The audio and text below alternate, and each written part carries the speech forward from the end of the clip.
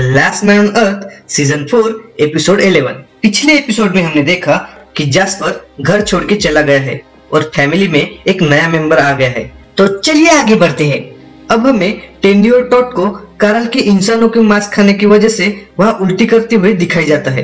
दोनों वहाँ से भाग जाते हैं, पर कारल उन्हें जाते हुए देख लेता है। टेंडी और टॉट घर आकर सबको ये बात बताते हैं, पर कोई उन पे विश्वास नहीं करता और उन पे हंसने लगते हैं।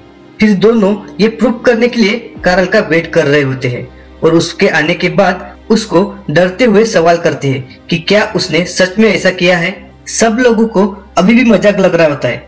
तब वो सबको बताता है कि वो सच में मास्क आता है।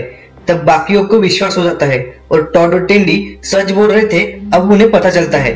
और अब सब लोग कारल से डरने लगते हैं और तब कारल सोने के लिए चला जाता है। तब सारा समूह बंदूक लेकर कारल के रूम में जाता है। और उसको बाँध के रखते हैं। अब सब लोग डरे हुए होते हैं।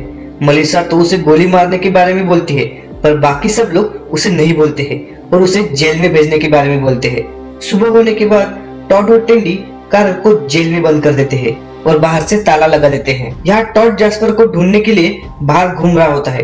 तब वो देखता है कि जेल का ताला टूटा हुआ है और कारल भाग गया है। तब टॉट सबको घर आके बताता है। तभी मलिसा भाग कर जास्पर को बचाने के लिए जाती है और तभी सबको पता चलता है कि मलिसा ने ही जास्पर को छुपा के रखा है। तभी दूसरे रूम से पियानो की आवाज़ आने लगती है। सब वहाँ जाते हैं। तब वहाँ कारल होता है। तब सब लोग उसे एक छोटे रूम में बंद कर देते हैं। तभी कारल अपने कामों के बारे में पश्चाताप करता हुआ सबको बोलता है कि वो उसे मार दे। तब सब लोग स्ट्रॉक की मदद से डिसाइड करते हैं कि कारल को कौन मारेगा। सबसे छोटी स्ट्रॉ जिसके पास आएगी, वही कारल को मारेगा। और वो स्ट्रॉ केरल के पास आती है। मतलब अब उसे केरल मारने वाली है। केरल टेंशन में एक जगह खड़ी होती है। तब टेंडी उसके पास आता है। और वो केरल को बोलता है कि कारल को वो मारेगा। और उसने अपनी स्ट्रॉ भी छोटी कर रखी होती है। टेंडी कारल के लिए एक अच्छा सा मरने के लिए डेट एरिया बनाता है। टेंडी सब लोगों को गुड बाय करने के लिए भी बोलता है। कारल की आखिरी इच्छा होती है कि वो क्यूब को कंप्लीट करके मरना चाहता है। फिर वो उस क्यूब को कंप्लीट करने लगता है और टेंडी दूर जाके खड़ा हो जाता है। और जैसे ही कारल क्यूब कंप्लीट करता है, तब क्यूब में से बॉम्ब फट जाता है और कारल के चिचड़े चिचड़े हो जाते हैं। और यही पे एपिसोड ग्यारह खत्म हो जाता है। अब हम देखने वाले है एपिसोड बारह। अब टेंडी सबके सामने आता है और कारल को कैसे मारा वो सबको बताता है। वो सबको रूम देखने के लिए चलने को बोलता है। और जैसे वो पलट जाता है तो सब लोग देखते हैं कि टेंडी बैग से पूरा ब्लड से भरा हुआ है। तो रूम देखने के लिए मना कर देते हैं। फिर टॉड कारल के लिए श्रद्धांजलि वाला गाना गाता है। टेंडी उसके मरने के बाद उसे दो कफन में रखता है। कमर के नीचे वाला हिस्सा एक कफन में और ऊपर वाला हिस्सा दूसरे कफन में। फिर सब लोग कारल के बारे में अच्छा अच्छा बोलते हैं और गेल आती है। वो भी कारल के बारे में बोलती है पर वो वहाँ पे टेंडी के बारे में भी बोलती है और उसकी तारीफ़ भी करती है। ये सुन के टेंडी बहुत खुश हो जाता है। फिर टेंडी उस कफन को दफना देता है। घर आने के बाद भी गेल के तारीफ़ के कारण टेंडी बहुत खुश होता है और उसकी वजह से केरल भी बहुत खुश होती है। टॉड मलिसा के लिए सोफे पे सोने की जगह बनाता है। पर मलिसा ने जास्पर को प्रॉमिस किया होता है कि वो कहा छुपा है, वो किसी को नहीं बताएगी। इससे टॉड मलिसा से सॉरी बोलता है। पर फिर से वो मलिसा को पूछता है कि जास्पर कहा है। और तब भी मलिसा उसे बताने के लिए नहीं बोलती है। पर उससे टॉड गुस्सा हो जाता है और वहाँ से चला जाता है। सुबह होते ही टेंडी अच्छे बच्चे की तरह खून को साफ़ कर रहा होता है। तो वहाँ गेल एरिका और केरल आती है और उसकी तारीफ़ करने लगती है। अब मलिसा जास्पर के लिए खाना पैक कर रही होती है। तो टॉड उसे उसके साथ आने के लिए पूछता है, पर मलिसा उसको ना बोल देती है। अब हमारे टैंडी मिया ने एक नया जुगाड़ लगाया होता है। टैंडी मिया गैस बलून को डायपर लगा के उसे हवा में उड़ा रहे होते हैं। उसे गेल भी ऐसा करने के लिए मदद करती है। अब मलिसा जास्पर के लिए खाना लेकर पहुँचती है।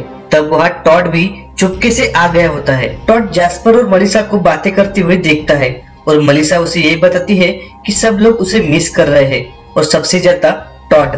ये सब बातें सुनकर टॉड को अच्छा लगने लगता है और वो वहाँ से चुपचाप से चला जाता है। अब टेंडी गेल को खुश करने के लिए अच्छा सा ड्रेस पहन के ड्रिंक पीने की ऑफ़र देता है, तब गेल भी उसे मना नहीं करती। मलिसा जब जास्पर से मिलके वापस आती है तो टॉट को गाड़ी के सामने खड़ा पाती है।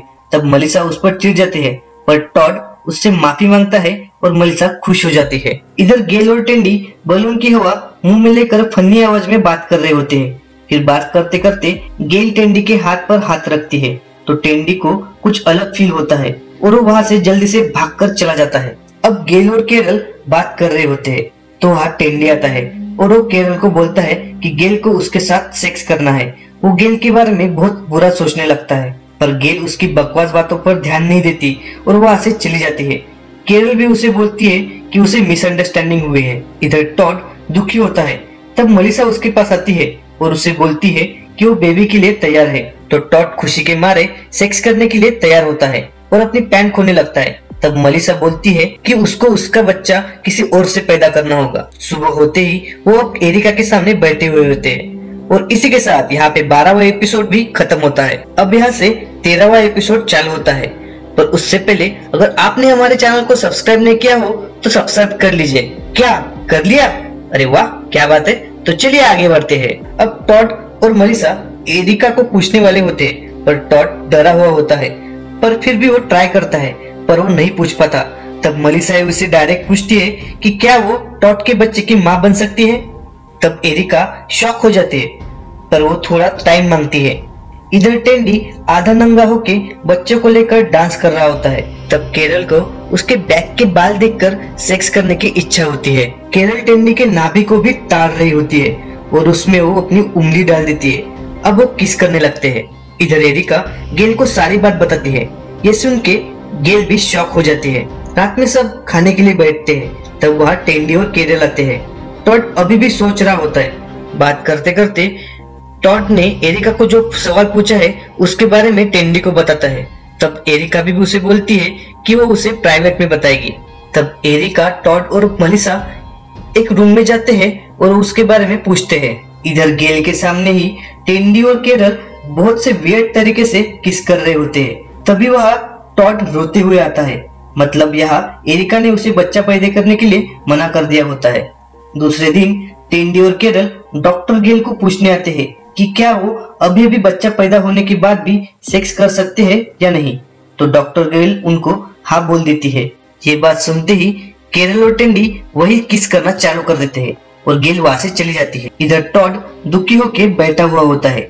तब मलिसा उसे मनाने के लिए बहुत सारे गेम्स लाती है। पर टॉड को बस ट्रेन वाला गेम ही पसंद आता है और वो उसके साथ खेलने के लिए बाहर चला जाता है। इधर टेंडी और केरल बहुत दिनों के बाद घपाकप कर रहे होते हैं। और वो बहुत ज़ोर ज़ोर से चिल्लाते भी है। इधर टॉड ट्रेन के साथ खेल रहा होता है, पर मलिसा टेंडी को बोलती है कि टॉट के सामने बेबी के बारे में बात नहीं करना। अब बहुत दिन गुजर जाते हैं और अभी भी टॉट ट्रेन के साथ खेल रहा होता है। तब वह टेंडी और केरल आते हैं। वो दोनों टॉट को सच्चाई बताना चाहते हैं, पर मलिसा उनको ऐसा करने के लिए मना कर देते है।